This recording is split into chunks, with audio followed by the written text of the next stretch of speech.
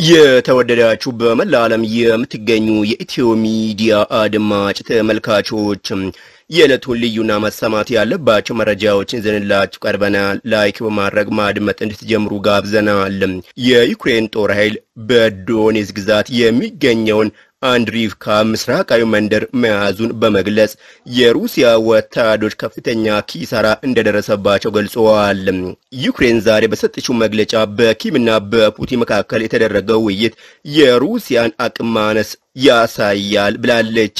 ኪየቭ ሰው አልባ አውሮፕላኖቿ በጥቁር ባህር ውስጥ በሚንቀሳቀሱ ሁለት የሩሲያ patrol መርከቦች ላይ ጥቃት እንደሰነዘሩ አስታውቃለች። ሮማኒያ በዩክሬን ድንበር ላይ አዲስ የበረራ ገደቦችን እንደጣለች አስታውቃለች። ዜሌንስኪ በሚቀጥለው ሳምንት የአሜሪካን ካፒቶል ሊጎበኙ መሆኑ ተገልጿል። ፑቲን ሰሜን ኮሪያን እንዲጎበኙ በኪም የቀረበላቸውን ጥሪ መቀበላቸውን ክሬምሊን አስታውቀዋል። የሩሲያ የመከላከያ ሚኒስትር በምስራቅ ሩሲያ ውስጥ የኒውክሌር ሰርጓጅ መርከቦችን ዘመናዊነት መርምረዋል። እነዚህን ሌሎችን መረጃዎችን የምትሰሙ ይሆናል። ሮማኒያ በዩክሬን ድንበር ላይ በሚገኙ የአየር ክልሎቿ ላይ ተጨማሪ የበረራ ገደቦችን እንደጣለች በዛሬው ትገልጻለች። ውሳኔ የመጣው በዩክሬን የዳኑቤ ወንዝ ወደቦች ላይ የሩሲያ ተደጋጋሚ ጥቃቶች መፈጸማቸውን ተከትሎ ነው ተብሏል።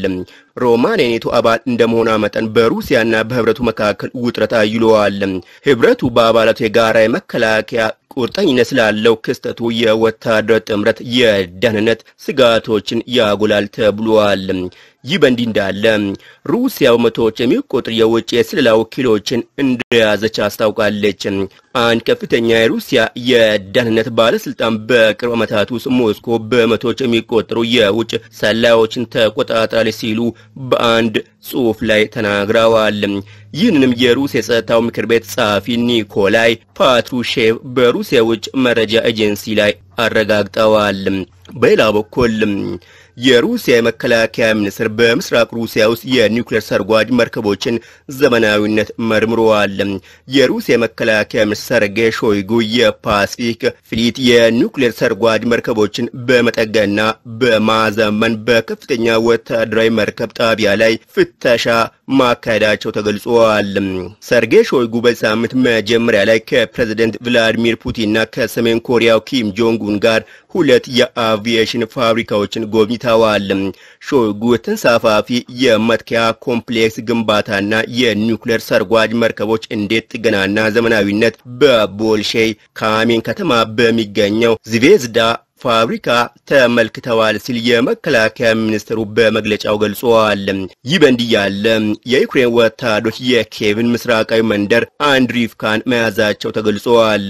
የኬቭ የመልሶ ጥቃት በዶኔስክ አካባቢ የሚገኙ የሩሲያ ቦታዎች ላይ ባነጣጠረበት ወቅት የዩክሬን ኃይሎች ምስራቃዊውን የአንድሪቭካ መንደር ይዘዋል ተብሏል።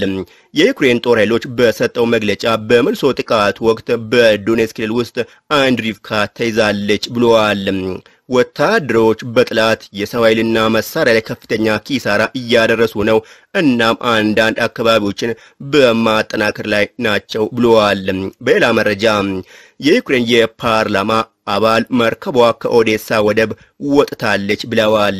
ከጥቂት ደቂቃዎች በፊት የካይማን ደሴቶች ባንዲራ የያዘው የፑማ መርከብ ከኦዴሳ ወደብ ወደ ጥቁር ባህር ለቆ ወጥተዋል ብለዋል። መርከቧ እህል ከወደብ እንደጫነች እንደሆነና እንዳልሆነ አልገለጹም ተብሏል። እንዲሁም የፎቶግራፍ ቀንና ቦታ በገለልተኛ ሊታወቅ አልቻለም ሲል አልጄዚራ ዘግቧል። ይህ በእንዲህ እንዳለ የቱርክ ኢነርጂ ሚኒስትር የሩሲያው ፕሬዝደንት ቭላዲሚር ፑቲን ባለፈው ዓመት ያቀረቡትን አዲስ የተፈጥሮ ጋዝ ማዕከል አስፈላጊነት በተመለከተ ለመጀመሪያ ጊዜ በይፋ ጥያቄ አቅርበዋል። የኢነርጂ ሚኒስትሩ አልፓርስላን ባይራክታር ለጋዜጠኞች እንደተናገሩት ቱርክ ቀደም ሲል በጥሩ ሁኔታ የሚሰራ የጋዝ መገበያያ መድረክ ነበራት።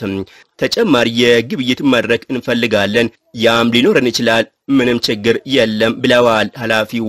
ፑቲን ባለፈው ጥቅምት ወር በካዛኪስታን ዋና ከተማ አስታና ውስጥ ከፕሬዝደንት ሬሲፕ ጣይብ ኤርዶጋን ጋር ባደረጉት ውይይት በቱርክ ውስጥ የጋዝ ማዕከልን ለሌሎች ሀገራት ለማቅረብ የሚያስችል የጋዝ ማዕከል የመፍጠር ሀሳብን ለመጀመሪያ ጊዜ አቅርበዋል።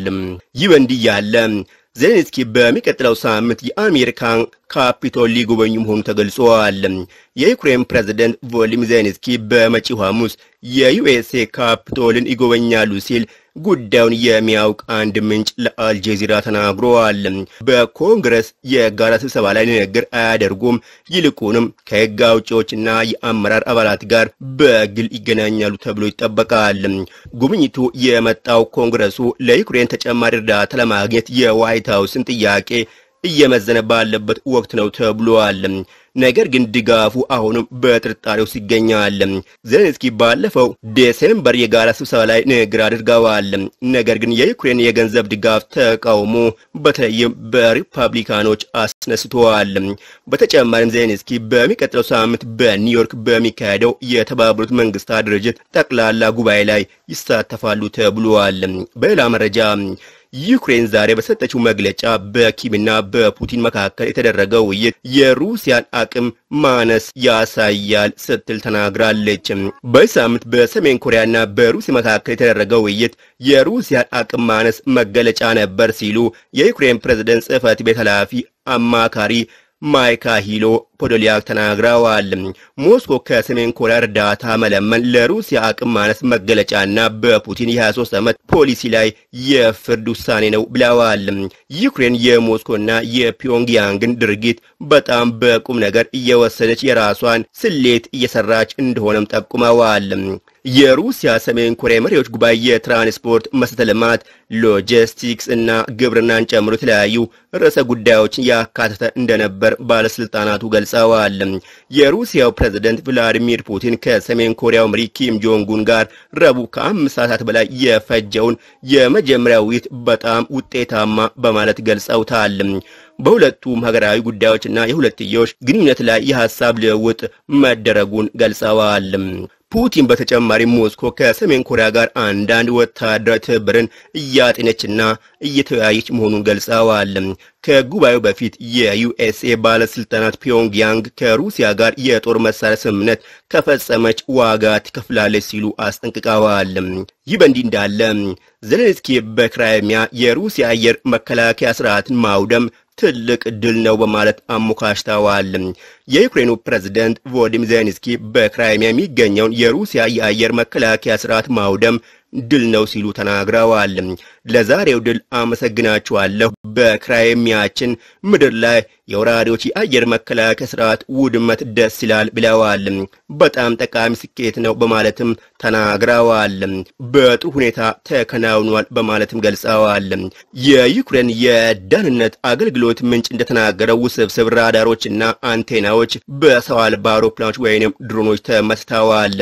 በሌላ መረጃ ፑቲን ሰሜን ኮሪያን እንዲጎበኙ በኪም የቀረበላቸውን ጥሪ መቀበላቸውን ክሬምሊን አስታውቀዋል። የሰሜን ኮሪያና ሩሲያ መቀራረብ በዩክሬን ያለው ጦርነት እንዲጠናከር እና ኪም ወሳኝ የሆነ የሚሳይል ቴክኖሎጂ እንዲያገኙ ያደርጋል የምትለው አሜሪካ ስጋት ውስጥ ገብታለች። ፕሬዚደንት ፑቲን ሰሜን ኮሪያ እንዲጎበኙ በሰሜን ኮሪያው መሪ ኪም ጆንግ ኡን የቀረበላቸው ጥሪ በደስታ ተቀብለዋል። ግብዣው የተደረገው ሁለቱ መሪዎች በምስራቅ ሩሲያ በወታደራዊ በዩክሬን ጦርነት እና የሰሜን ኮሪያን ሳተላይት ፕሮግራም በመደገፍ ጉዳዮች ባደረጉት ስብሰባ ላይ ነው ተብሏል። ፑቲን ሩሲያ ለጎበኙት ኪም ዘመናዊ የተባለውን የ space ማምጠቂያ ጣቢያን አሳይተዋል። የተወደዳችሁ በመላ ዓለም የምትገኙ የኢትዮ ሚዲያ አድማጭ ተመልካቾች የዕለቱ መረጃዎች በዚሁ ተጠናቀዋል። ተጨማሪ መረጃዎች በቶሎ እንዲደርሳችሁ subscribe ማድረግ የደውል ምልክቱን በመጫን ኢትዮ ሚዲያ ቤተሰብ ሁኑ።